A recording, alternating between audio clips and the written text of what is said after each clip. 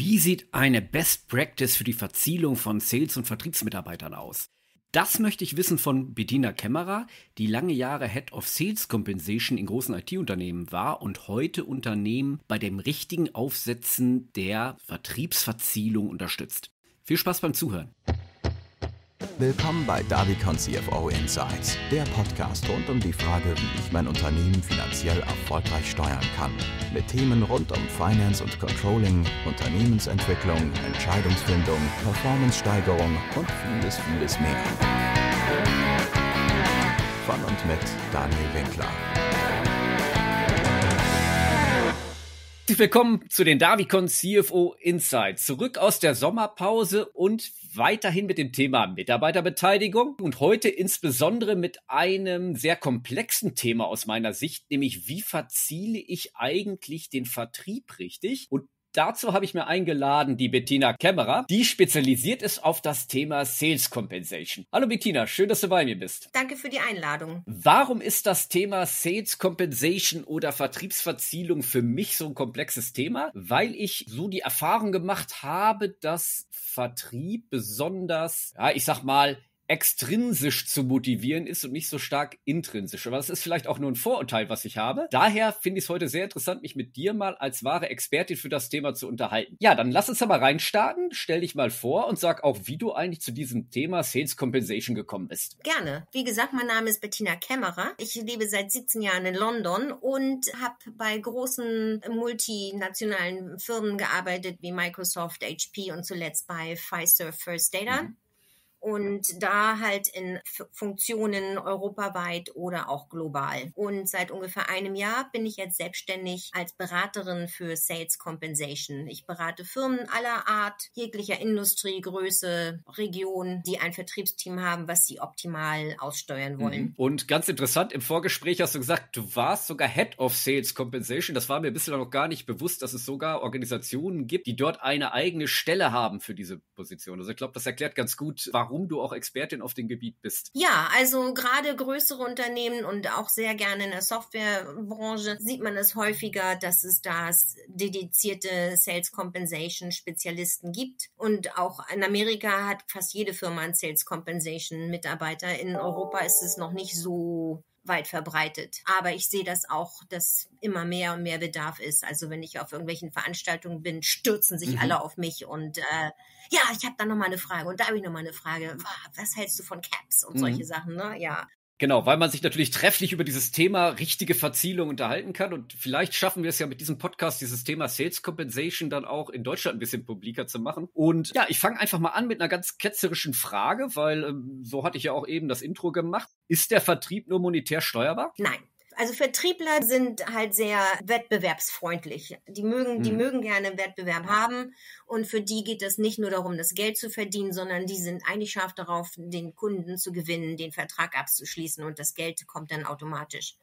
Und so kann man die halt packen. Ne? Man kann kleinere Competitions machen, kleine, kleinere Wettbewerbe. Mhm. Man, man kann die mit allen möglichen Mitteln locken, dass sie halt erfolgreich sind und dass sie sich, dass sie die, die erste sein wollen mit, mit anderen Dingen, die nicht viel Geld kosten oder manchmal sogar auch gar kein Geld mhm. kosten. Das heißt, das Monetäre ist eigentlich im Grunde genommen nur hinter das Outcome, was ich habe, dadurch, dass ich halt Leute habe, die stark wettbewerbsgetrieben sind ja, wenn man Vertriebler untereinander reden hört, sagen die nicht, ich habe letztes, letzten Monat 10.000 Euro verdient, sondern dann sagen die, ich habe den Kunden dazu gewonnen oder ich habe bin hab den das erste Mal in dies, das Vertikal in, diesen, in diese Branche verkauft. Die reden mehr davon, was sie erzielt haben durch ihre Arbeit und nicht, wie viel Geld sie damit gemacht haben. Hm. Ist das nicht vielleicht auch ein Problem? Weil ich, ich sage mal, von Umsatz alleine kann ja auch keiner leben. Das heißt, nur Umsatz ja. generiert zu haben, ist ja vielleicht gar nicht mal so die richtige Messgröße, wenn ich unterm Strich da vielleicht nur ein, zwei Prozent Marge mache. Wenn ich das über Software spreche, gut, da kann ich 30, 30 Prozent plus rechnen. Aber in anderen, in anderen Sektoren? Ja, das ist, man muss natürlich die Margenrechnung machen. Wenn, ne, wenn ich Kunden habe, die verschiedene Produkte haben, dann frage ich immer halt, wie, der, wie die Margenprodukte sind, ob die ein High-Margin-Produkt haben oder ein Low-Margin-Produkt. Und darauf, äh, das wird dann, macht man entweder eine Mischkalkulation oder man pusht das, das Hochmargenprodukt. Kommt immer drauf an. Ich hatte auch ein Startup-Unternehmen, die haben genau ein Produkt und das eine Produkt kostet um die 500.000. Ne? Also, mhm. ähm, da, ja. ja ne, stolzer, stolzer Preis. Dann lass uns doch mal ja. gucken. Also mal so als Status quo. Welche Sales-Verzielung findest du heute eigentlich in der Praxis? Und was sind da für dich so die Vor- und Nachteile? Also die größten Probleme, die ich immer sehe, gerade auch bei deutschen Firmen, sind Inkonsistenz, wenn das ein Wort ist, in äh, Paymix. Also der Vertriebler, unterschiedlich zum normalen Mitarbeiter, hat ähm, sein Zieleinkommen als Basisgehalt mhm. und dann den variablen Anteil. Und unterschiedlich zum normalen Mitarbeitern ist dieser variable Anteil, was wir nennen at risk. Mhm. Das bedeutet, er kann entweder mit null nach Hause gehen oder mit Mhm. viel. Und beim normalen Mitarbeiter, der auf dem Bonusprogramm ist, der einmal im Jahr einen Bonus kriegt, da ist, kriegt meistens immer irgendwer was, mhm. ne?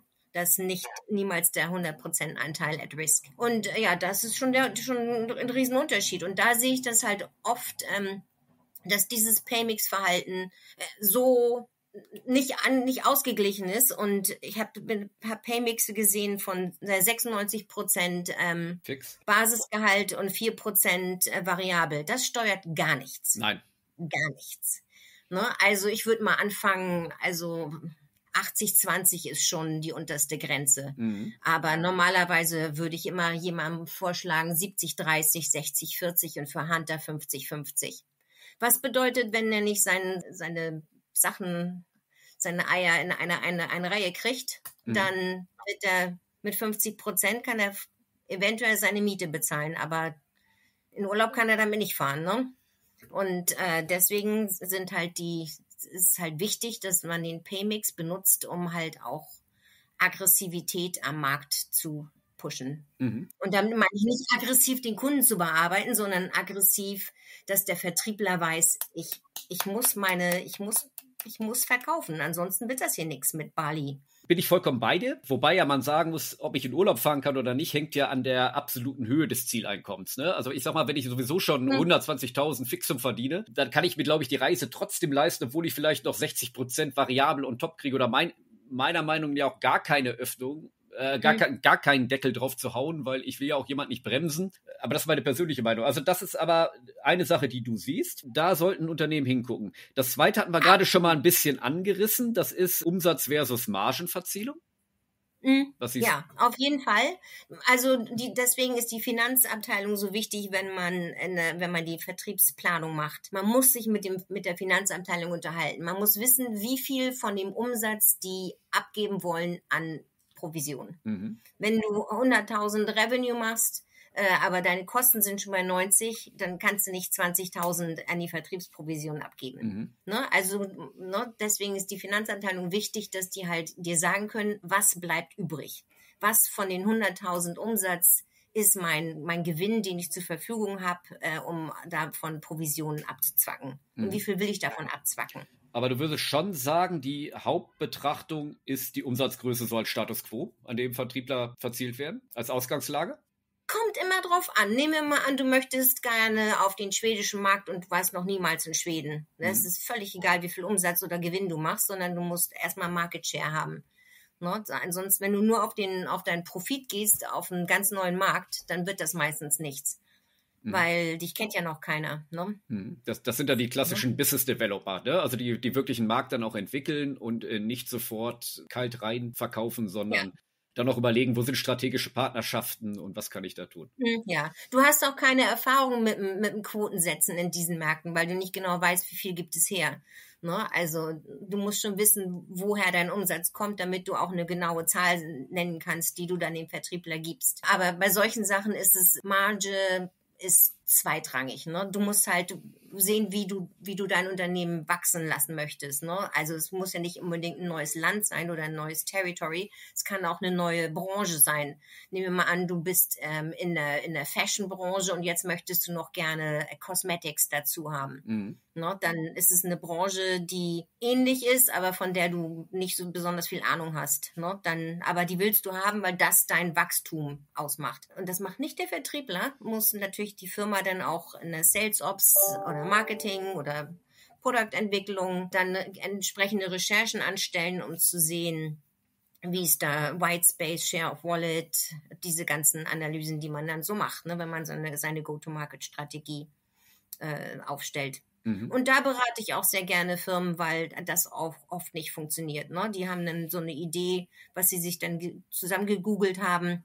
Mhm. Ne? Und dann, ja, nun geh mal los, ne? Ja, das, so funktioniert das nicht, ne? Äh, ja, genau. Okay, das heißt, so Status Quo, das ist auch das, was ich erwartet hätte, dass man da nicht richtig hinguckt und dass man nach Umsatz verzielt, dass man dann natürlich mal mit der Finanzabteilung spricht, sag mal, wie viel Umsatz kann ich eigentlich machen, weil mhm. irgendwo muss die Margenbetrachtung mit rein. Und ähm, ja.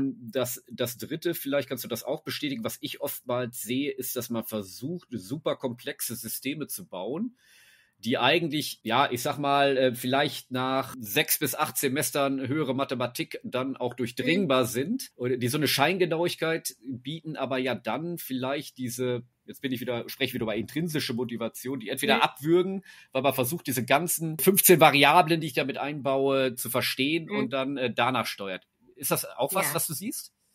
Ja, das ist immer mein Liebstes, wenn ich so sehe, dass so ein, so ein Plan für so eine arme einzelne Person 15 Komponenten hat. Ne? Der, der, der weiß ja gar nicht, wo er anfangen soll. Das, mhm. Der ist ja total verwirrt. Was, ne, was soll diese Person machen von den 15 Komponenten? Natürlich sucht sie sich die, die Komponente aus, die am einfachsten zu bedienen ist. Ne? Also es ist immer wichtig. Also mein, ich frage meine Kunden immer, was sind die zwei, drei Sachen, die du wirklich, wirklich mhm. möchtest? Mhm. Ne? Also nicht die gesamte Einkaufsliste. Ne? Ja. Ne? Wir produzieren hier keine eierlegende Wollmilchsau, ne? sondern ich will nur die zwei, drei Sachen haben, die du wirklich, wirklich, wirklich, wirklich möchtest. Und dann dauert das meistens eine Woche, manchmal auch zwei, dann kommen die wieder und sagen, ja, das, wir haben lange diskutiert, das sind die Sachen, die wir wirklich, wirklich, wirklich, wirklich machen. Und die, die nehmen wir dann und ähm, ja, dann normalerweise, wenn da was nicht Monetäres dabei ist, das wird auch erstmal gleich gekippt, gekippt. Ja, und dann konzentrieren wir uns darauf. Also ich möchte mal so eine drei Stufen oder drei pa Partner profitabel Situation machen. Der Kunde, mhm. das Unternehmen, der Mitarbeiter. Alle drei müssen zufrieden sein. Ansonsten wird das nichts. Mhm. Ne? Und ein Vertriebsplan ist halt dafür da, den Kunden, den, die Firma und den Mitarbeitern alle drei gut dastehen zu lassen. Der Kunde ist wichtig, weil der soll ja wiederkommen. Wir wollen ja Absolut. den als Referenz haben. Wir wollen ja, wir wollen ja nicht einmal zum Kunden verkaufen und das war's dann, sondern wir wollen deswegen den Mitarbeiter so steuern, dass wir nicht nur steuern, was er verkauft, sondern wie er es verkauft. Und da spielt der Manager auch eine große Rolle. Mhm.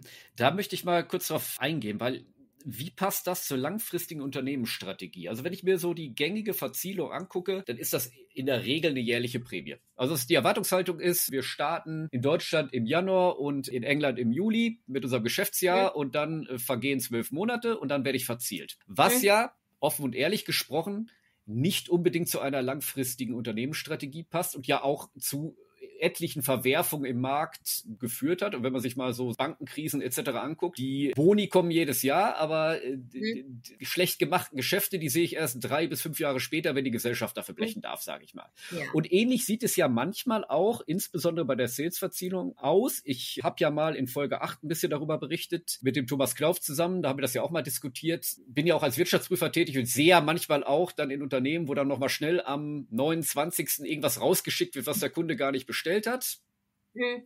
dann ist es erstmal als Umsatz gebucht und wenn er das dann irgendwie äh, Mitte Januar zurückschickt, weil er es ja nicht bestellt hat, ist es aber trotzdem nicht bereinigt in, in den Umsatzerlösen. Ne? Das ist dann erst bereinigt mhm. im neuen Jahr. Und, und das ist ja nun absolut überhaupt nichts, was ich fördern möchte. Also wie siehst du das, nee. diese langfristige Unternehmensstrategie und kurzfristiges Erfolgsdenken?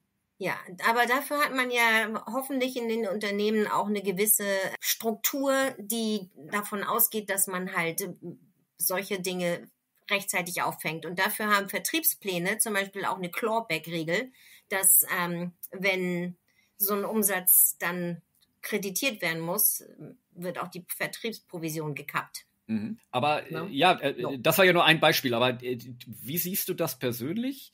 Dieses Dismatch zwischen langfristiger Unternehmensstrategie, drei bis fünf Jahre beispielsweise, lasst uns Skandinavien als, als neuen Absatzmarkt gewinnen. Und mhm. Skandinavien ist halt nicht nur Schweden, das ist auch Norwegen und Finnland. Und dafür brauchen wir fünf Jahre. Ja. Und du wirst aber jedes Jahr verzielt.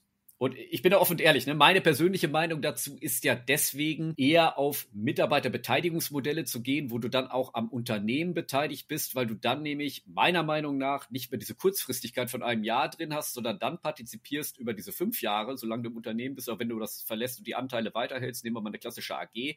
Und wenn deine Strategie aufgehst, kriegst du auch ein Vielfaches von dem, was du eigentlich sonst kriegen würdest. Und wenn du nicht mehr an die mhm. Story glaubst, dann verkaufst du deine Anteile, dann kannst du es auch innerhalb eines Jahres monetarisieren organisiert. Das Modell bin ich auf jeden Fall, finde ich auch auf jeden Fall gut. Also bei uns in England halt nennt man das Owner Associate. Das mhm. heißt, jeder Mitarbeiter ist ein Eigentümer.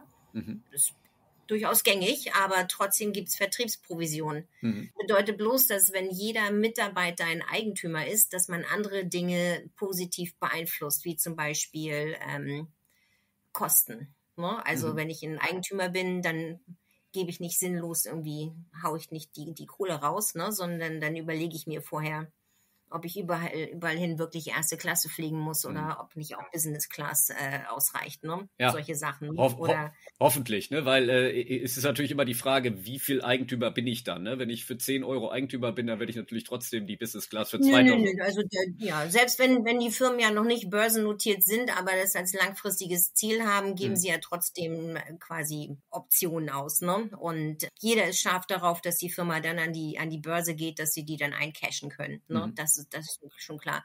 Aber um auf das Thema zurückzukommen, langfristige Planung. Also wenn ich als Vertriebler mein eigenes Territorium verbrenne, hm. dann habe ich davon keinen Nutzen. Also wenn ich, wenn ich fünf Jahre lang den skandinavischen Markt beackern soll und äh, ich hinterlasse überall verbrannte Erde, dann weiß ich, dass ich äh, meine Reputation als Vertriebler und die des Unternehmens schädige und daran habe ich nie ein Interesse. Und solche Fälle habe ich auch eigentlich sehr selten gesehen. Also wenn wir einen Vertriebsmitarbeiter gesehen haben, der ähm, Hauruck-Methode halsbrecherisch an irgendwie welche Kunden verkauft, nur um des Verkaufens willen, der wird dann auch schnell ausgetauscht. Mhm. Dann lass uns doch mal gucken, was könnte denn so eine Best Practice sein? Also neben dem äh, von mir bevorzugten Mitarbeiterbeteiligung oder wie das ist eben genannt, Owner Associate. Mhm, ja. Also da, da, muss man ja erstmal individuell jedes Unternehmen betrachten. Also ich habe ja auch schon mal gesagt, es gibt ja keinen hundertprozentigen goldenen Weg, sondern das, die Produkte sind anders, die Unternehmen sind mhm. anders, die Unternehmensstrategie ist anders. Ja. Aber man mal so als Best Practice darüber nachdenkt,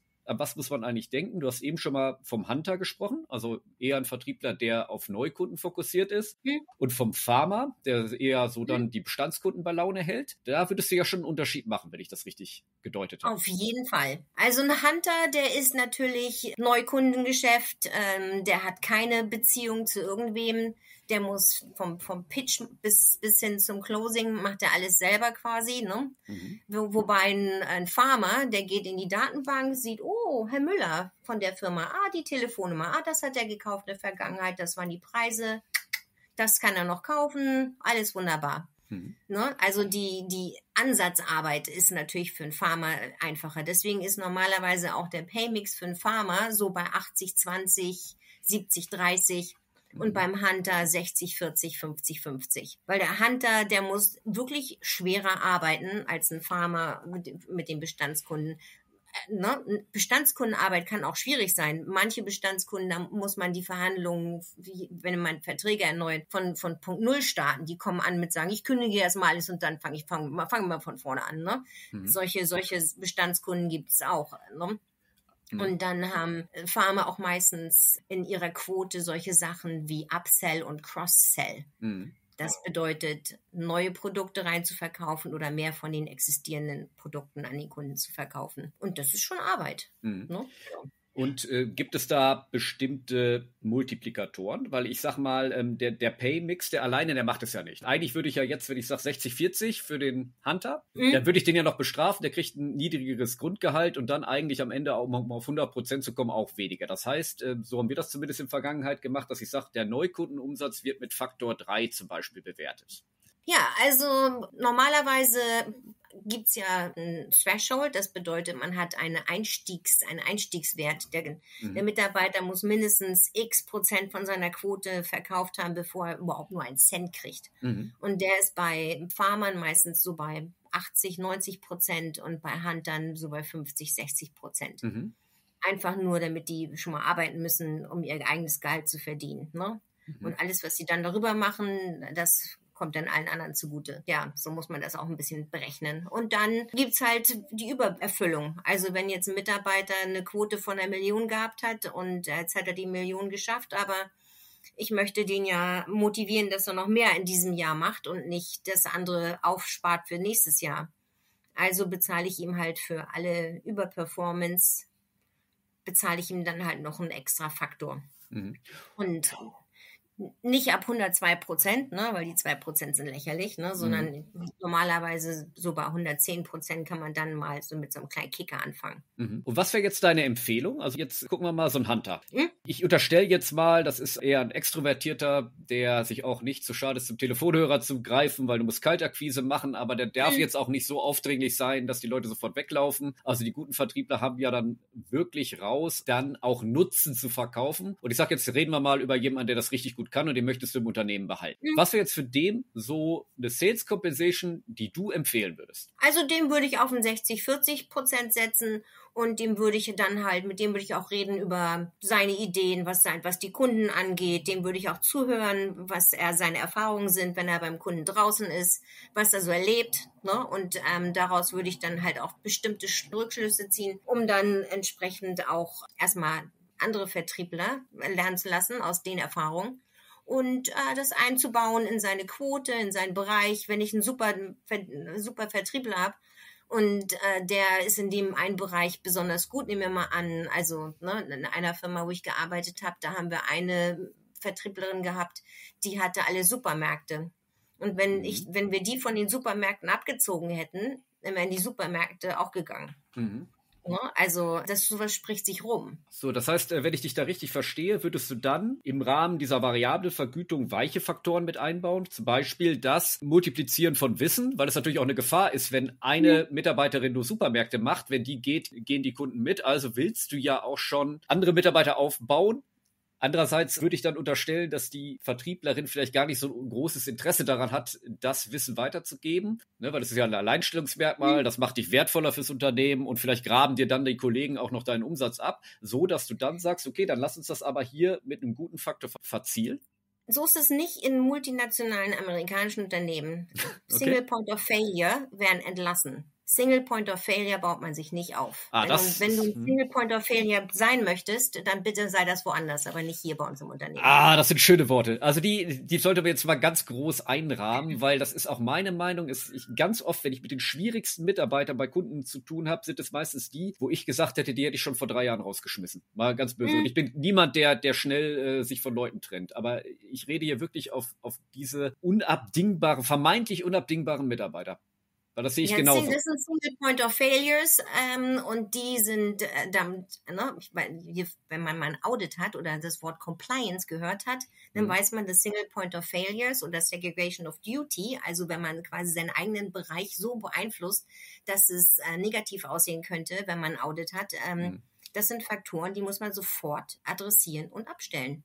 Und äh, wenn ich einen Mitarbeiter habe, der, der mauert und der sein Wissen nicht teilt mit anderen, ja, dann haben wir ein Problem. Ja, dann haben wir den Manager rein und sagen, ne, wollen wir uns mal unterhalten? Ja, du bist halt ein bisschen in, in, in der Zwickmühle an der Stelle. Ne? Also wenn das jetzt jemand ist, der, ich sag mal, 60, 70 Prozent des Umsatzes mhm. betreut und der natürlich auch von der Konkurrenz heiß umworben wird, dann wirst du nicht sagen, wenn du dein Wissen nicht weitergibst, schmeiß ich dich raus. Dann sagt er, naja gut, dann gehe ich halt zur Konkurrenz. Wenn, ja. ihr, wenn ihr mich nicht wertschätzt, dann bin ich weg. Die mhm. Frage mhm. jetzt, warum ich aber trotzdem deiner Meinung bin, ist, mhm. dass diese Leute sich regelmäßig komplett überschätzen, was ihre eigene Position angeht. Und wenn sie dann das Unternehmen verlassen, ganz andere Mechanismen wirken. Weil gerade in der, mhm. in der IT- und Softwarebranche ist es ja nun auch so, die, die Kunden hängen am, an den ausführende Mitarbeiter, wenn du irgendwie IT-Services machst, die hängen am Produkt. Mhm. Wenn du jetzt von Microsoft sprichst, es wird jetzt keiner irgendwie die Google-Produkte einsetzen, nur weil du als Vertriebler gehst. Und das meine ich mit überschätzen. Ja, absolut, absolut. Und ähm, man möchte gerne denken, dass man nicht ersetzbar ist. Und man möchte gerne denken, dass man eine bedeutende Rolle spielt. Aber wenn man dann mal Unternehmen verlassen hat und das Unternehmen geht nicht gleich pleite und das mhm. Leben geht weiter für alle, dann kriegt man einen kleinen Reality-Check und stellt fest, oh, hm, tja, ich war ja dann doch irgendwie äh, austauschbar oder ersetzbar. Ja. Und so ist es mit jedem. Jeder, das ist zwar schockierend, ich weiß, ne? Jeder ist ersetzbar. So ist das nun mal. Ja. Es ist ja auch so, und, und das ist, das ist auch sehr wichtig im Allgemeinen mit der Mitarbeiterführung. Wenn man in einem Unternehmen arbeitet, im Vertrieb oder in anderen Bereichen, geht man ja eine Art Beziehung ein. Es ist ja nicht so eine Beziehung wie in der Ehe, aber es ist schon eine Beziehung. Man mhm. verbringt so viel Zeit bei der Arbeit mit den Kollegen, mit, mit allem. Und wenn, wenn in dieser Beziehung irgendwas gestört ist, wenn der Mitarbeiter nicht gerne da arbeitet, dann muss man sich trennen. Das mhm. ist so wie in, in einer Beziehung auch. Und im Vertrieb ist es auch so. Wenn, wenn du einen Mitarbeiter hast, wo du feststellst, der hat eigentlich kein Interesse daran, mein Produkt zu verkaufen, der steht da gar nicht hinter, der, dem ist es völlig egal, wie viel Vanilleeis ich verkaufe oder sonst irgendwas, mhm. ne? wenn du jetzt im Eisgeschäft bist. Ne? Denn ja, dann muss da halt irgendwie, muss man sich. Dann wird es aber auch kein guter Vertriebler sein. Das heißt, das, nee. ist, das ist dann eher der Punkt, wo du sagst, da muss ich einen Low-Performer für die Tür setzen. Aber hier rede ich ja über einen High-Performer, vermeintlich, der aber wieder Pfropfen auf der Flasche sitzt. Aber ich glaube, es ja. ist klar geworden, äh, das, da haben wir eine Meinung. Das zweite, wo du gerade äh, gesagt hast, so, so ein Hunter würdest du dann auch an die Seite nehmen. A, die Multiplikation und zweitens diese neuen Opportunities mit ihm besprechen. Also was, was könnte man, du bist jetzt bei Kunden A drin, wie hast du das gemacht? Wie kommen wir denn ja. jetzt an äh, Kunden B ran? Würdest du das in so eine Verzielung mit reinschreiben? Ähm, ich würde da nichts mit reinschreiben, sondern ich würde einfach nur dem Mitarbeiter das Gefühl geben, dass er wichtig ist, dass sein, sein, seine Aussagen eine Bedeutung haben für uns, dass er, dass er gehört wird ne? und dass er, dass er wichtig ist. Und das ist für, für Menschen im Allgemeinen und hm. Vertriebler sind Menschen Menschen, schockierenderweise, ähm, ist es ist sowas auch wichtig. Die die die mögen Wertschätzung und ich würde dem dem jetzt auch nicht Kunden wegnehmen. Ne? Also wenn jetzt jemand sagt, oh, ich bin so glücklich mit meinen Kunden oder in meinem Bereich, ich liebe, was weiß ich, Kosmetikbranche oder sowas. Mhm. Ne? Und ich, ich habe da so tolle Ideen dann würde ich dem jetzt nicht, nicht oh, der ist ein super Vertriebler, aber ich habe ja diese schwierige Ecke ne, mit den Möbelhäusern. Mhm. Ne, dann würde ich den jetzt nicht umswitchen, wenn, wenn der da so glücklich ist. Ne? Mhm. Das ist äh, überhaupt das Thema Wertschätzung. Ich glaube, das kannst du nicht hoch genug schreiben. Ne? Also das muss allerdings in beide Richtungen funktionieren. Da möchte ich mal kurz eine Anekdote nennen, weil mein Verantwortungsbereich war ja die Finance. Und dann hörst du in der Finance leider manchmal öfter, als dir lieb ist, auch von Vertrieblern, mach das jetzt, weil ich verdiene das Geld und du kostest ja nur. So, und äh, ich hatte damals den Mitarbeiterinnen gesagt, wenn ihr mal sowas hört, dann sagt mal, wovon die Leute denn meinen, dass ihr Gehalt bezahlt wird, wenn ihr keine Rechnungen stellt. Also Wertschätzung, ganz großes Thema, mhm. das doppelt unterstreichen wir. Ja. Ähm, dann lasst uns mal zum Pharma übergehen. Da sieht es dann ja ein bisschen anders aus, vermutlich. Ähm, ja, beim Farmer sieht das, sieht das anders aus. Der Farmer, den, die haben weniger Biss normalerweise. Ne? Die mögen gerne diese Beziehung, die sie quasi, das, nicht pampern ist das falsche Wort, aber die sie quasi wachsen lassen und die inniger wird. Und die wissen auch, wie sie das schaffen, dass sie den Mitarbeiter oder dass sie die, dass sie die Firma, mit der sie zusammenarbeiten, immer schön gedeihen lassen. Mhm. Und gibt es da irgendwie besondere Verzielungskomponenten, wo du sagst, damit kann man das auch fördern, dass jemand Cross-Selling und Upselling betreibt? Ja, absolut. Ja, Nummer eins wenn möglich, würde ich da, wenn ich die, wenn ich Quoten vergebe, würde ich eine Quote nur für Upsell und Cross-Sell vergeben. Mhm. Ich würde dem halt, nehmen wir mal an, er soll einen Vertrag erneuern, 100.000 und ähm, wir haben herausgefunden, dass seine Upsell, Cross-Sell-Möglichkeiten bei 20.000 liegen, dann würde ich den nicht bestrafen, wenn er bei 95.000 rauskommt. Mhm. Ähm, sondern ähm, ich würde den für die 20.000 bezahlen, die er on top bezahlt hat. Und okay, das heißt aber nicht für die 100.000 jetzt sich jetzt automatisch verlängert haben. Ja, wenn er, wenn er nur 80 verlängert, genau. dann würde ich ihn bestrafen. Aber wenn er im, innerhalb des, des preislichen Rahmens bleibt, Price Compression und solche Sachen, würde ich ihn, würde ich ihn motivieren, dass er das Upsell, Cross-Sell macht. Das andere, was viele Unternehmen falsch machen, ist, ähm, dass sie zum Beispiel, wenn die President's Club haben, die machen es nur für Hunter. Ich würde auch einem Farmer die Möglichkeit mhm. geben, zum President's Club zu gehen. Jeder möchte gerne nach mhm. Bali, Hawaii. Okay, das musst du, glaube ich, mal kurz erklären, weil das auch so was äh, sehr amerikanisch oder vielleicht englisches ist. Was ist der President's Club? President's Club ist der Club, das nennt man, da kann man auch Pinnacle Club nennen oder Champions Club. Das ist halt für die Vertriebler, die top verkauft haben, die Top 5% im Laden. 100% bringt dich nicht irgendwo hin, ne? Das ist das, was wir erwarten. Aber wenn du mhm. 200% gebracht hast oder irgendwas ganz Tolles gemacht hast, dann kriegst du eine Reise irgendwo hin, wo es toll ist. Aber es ist halt sehr ein exkluser 5%, äh, Top 5% Performer Club. Ja, eigentlich unverständlich, warum man dann da, da die Unterscheidung macht zwischen äh, Hunter und Farmer, weil da gebe ich dir vollkommen recht. Auch das hat ja wieder was mit Wertschätzung zu tun, wenn ich eine mhm. Gruppe schon äh, da außen vornehme. Und außerdem, wer sagt denn nicht, dass, äh, wenn ich ein guter Vertriebler bin und meine auch als Farmer bewiesen habe, es ist ja ein bisschen menschlich, dass ich so erstmal die Low-Hanging Fruits, wie man so schön sagt, ernte und mhm. äh, erst dann vielleicht Neukunden aufbaue und trotzdem da äh, mega erfolgreich sein kann. Mhm, ja, ja, also, aber es, ich sehe das sehr häufig, dass die Farmer äh, ausgenommen sind davon. Gibt es sonst noch was, was du hier empfehlen kannst? Also, wie, wie, sieht das denn aus, wenn du, wenn du so ganz frisch in so einem Unternehmen reinkommst? Wie sieht dein Prozess da aus? Wie, wie, was guckst du dir da an und was sind dann deine Empfehlungen neben denen, die wir schon genannt haben? Also, erstmal frage ich meinen Kunden, ob er ein Ideal Customer Profile hat. Das haben auch nicht alle. Ne? Also ich frage die, was so, so, was sie gerne haben an Kunden. Ne? Und, ähm, also Wun Wunschkundenprofil auf Deutsch. Wunschkundenprofil, ja, genau. Und dann, ja, dann frage ich die halt, worauf sie sich konzentrieren möchten, was so ihre, wie viel High Performer, wie viel Low Performer sie haben. Ne, so diese ganzen statistischen oder diese ganzen Analysen gucke ich mir dann an. Und dann gucke ich natürlich auch dahin, wieso. Also wenn ein Unternehmen nur Top-Performer hat, dann ist ja schon mal was schiefgelaufen. Ne? Dann gucke ich mir an, ob die irgendwelche Technologie benutzen und wie sie die Technologie benutzen. Gerade in Firmen, also die. CRM? Ja, CRM, ja. Wenn die, die Forecast-Genauigkeit, wenn die bei 50 Prozent oder niedriger liegt, liegt, dann braucht man auch nicht, auch kein Forecast-Tool. Dann kann man das auch alles sich zurufen. Mhm. Ne? Also ich sehe sehr häufig, dass diese Forecast-Genauigkeit nicht angestrebt wird oder einfach ignoriert wird. Aber gerade wenn man mhm. einen Venture Capitalist drin hat oder solche Firmen, die daran interessiert sind, ihr Investment abzudecken, dann ist diese Forecast-Genauigkeit sehr, sehr wichtig.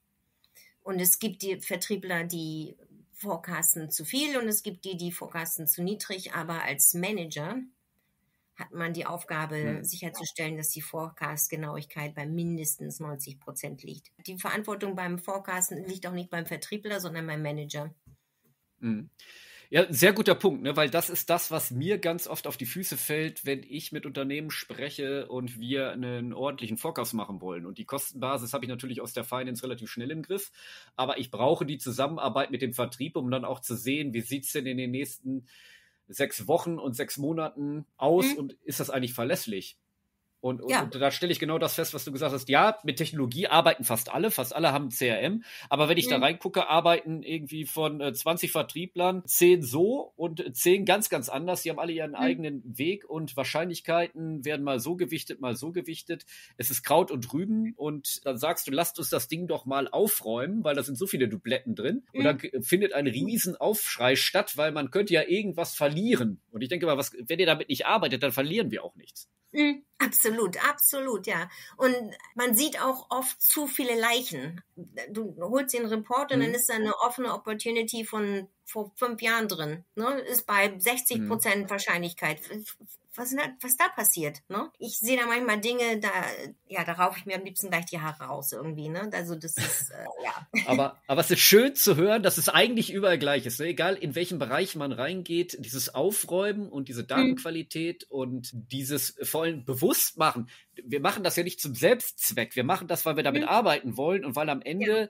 du das zum Überleben eines Unternehmens brauchst. Das kann man gar nicht oft mhm. genug sagen, dass man da einen Schwerpunkt setzen soll, weil dann gewinnst du meiner Meinung nach einen riesen Wettbewerbsvorteil und nicht nur in der Sales Compensation um am Ende selber gut dazustehen, sondern dann auch unterm Strich eine höhere Marge zu erzielen als der Wettbewerb. Also da liegt ja. so viel brach. Wenn man so ein kleiner Kontrollfreak ist wie ich, ne, und immer gerne alles genau wissen möchte mhm. und alles genau sein muss, äh, dann möchte man auch wirklich gerne, dass die, dass der Forecast und das alles richtig gut ist. Ich möchte gerne wissen, wo was ist, wo ich was finde und so weiter. Und äh, ich möchte nicht, dass irgendwas erraten wird. Gerade wenn es um Vertriebsprovisionen geht, reden wir hier vom von den, von den Einnahmen von Menschen. Da möchte ich nicht, dass der bezahlt wird auf, einem, auf, ein, auf eine Komponente Finger in die Luft. Okay, schätzen wir mal, ne? Sondern mhm. ich möchte, dass die mhm. auf was bezahlt werden, was man, was man greifen kann. Ne? Wenn man es nicht, nicht messen kann, mhm. ist es, vergessen wir es gleich. Solche Sachen. Ne? Ähm, das ist halt sehr wichtig, dass man da ja. auch eine Verantwortung zeigt als Unternehmen, dass man halt darauf achtet, dass was man macht, Hand und Fuß hat, dass es messbar ist und dass jeder in einer Art und Weise arbeitet, dass es auch für die anderen verlässlich ist. Hast du noch einen weiteren Punkt? Was ich noch sagen würde, ist einer der Faktoren, die wichtig sind im Allgemeinen im Vertriebsprovisionsplanung sind Risk and Control. Das bedeutet, dass wenn du dem mhm. Mitarbeiter immer das Geld schön, schön hinterher wirfst, aber dann einen riesen Clawback machen musst, weil irgendwas passiert ist. Der Kunde hat alles zurückgegeben oder sonst irgendwas. Ja, deswegen braucht man halt vernünftige, gut dokumentierte allgemeine Geschäftsbedingungen, Terms and Conditions, mit die man mit dem Mitarbeiter schließt. Nichts auf Zuruf, nichts per E-Mail, sondern was passiert, wenn das ist, wann wirst du bezahlt, auf welchem ba auf welcher Basis, alles schön aufschreiben. Und wie fließt das dann hinter die Verträge ein? Ja, super. Äh, Bettina, vielen Dank. Meine nächste Frage wäre ja deine drei Tipps an Unternehmerinnen und Unternehmer, die ihren Sales richtig verzielen wollen. Aber ich glaube, wir haben jetzt schon gerade genau diese fünf Punkte gesagt. Aber mhm. ich möchte dir trotzdem äh, die Gelegenheit bieten. Vielleicht hast du doch so, so, so drei so Quick Wins, die ähm, man ja sofort umsetzen kann wenn man das heute hört? Ähm, ja, erstmal habe ich dazu ähm, auf LinkedIn einen Post gemacht vor nicht allzu langer Zeit über die sieben wichtigsten Dinge. ähm, aber wir haben schon, wie du gesagt hast, über die meisten Dinge gesprochen, wie strategische Ausrichtung der Ziele. Eine Sache möchte ich aber noch sagen, und das ist Kommunikation. Wenn, die, wenn wir jetzt sofort eine Umfrage machen von in irgendeinem Unternehmen und fragen, wie viele Mitarbeiter wissen, was unsere, unsere Unternehmensstrategie ist, mhm. dann werden dir ganz viele sagen, ja. keine Ahnung. Meine Worte der Vertriebler ist nur so gut wie das, was du mhm. ihm sagst. Wenn, wenn, wenn du dem Mitarbeiter, dem Vertriebsmitarbeiter nicht sagst, was du von ihm möchtest, dann wird er das auch nicht tun. Dann wird er das tun, was er am besten kann. Das ist wahrscheinlich rausgehen und irgendwas verkaufen. Aber wenn du ihm sagst, ich möchte gerne, dass wir in dem Markt so und so sind oder ich möchte gerne, dass wir das und das machen, dann weiß er doch viel genauer, was er jetzt zu machen hat. Dann kann er das auch besser umsetzen. Und das geht nicht nur beim Vertrieb so, sondern natürlich auch bei allen anderen, die die Unternehmensstrategie auch mhm. verstehen müssen. Okay, das waren zwei Punkte. Was du noch ja. drin? Ja, ich würde auf jeden Fall immer Motivatoren einsetzen, äh, so kleine Dinge, die den, die den Vertriebler bei Laune halten.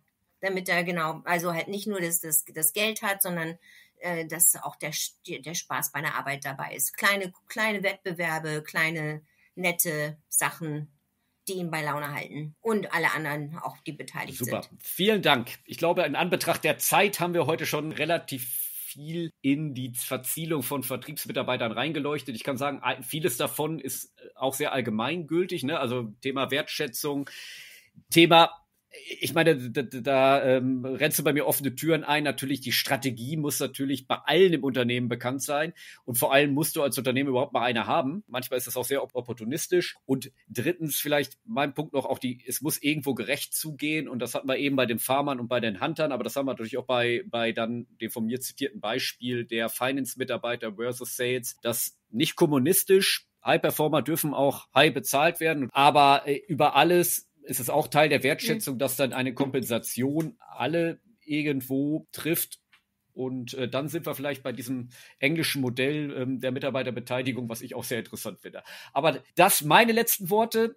Die allerletzten Worte gehören dir. Bettina, was möchtest du noch sagen? Ja, vielen Dank für die Einladung. Es hat mich gefreut. Ich spreche immer sehr gerne über Vertriebsprovisionen und Vertrieb im Allgemeinen. Und äh, ja, wie kann man mich erreichen? Am besten über LinkedIn. Ähm, ich habe da auch eine, eine, eine, Seite von meiner Firma, Bicom. Wie, wie Biene ist mein Spitzname halt.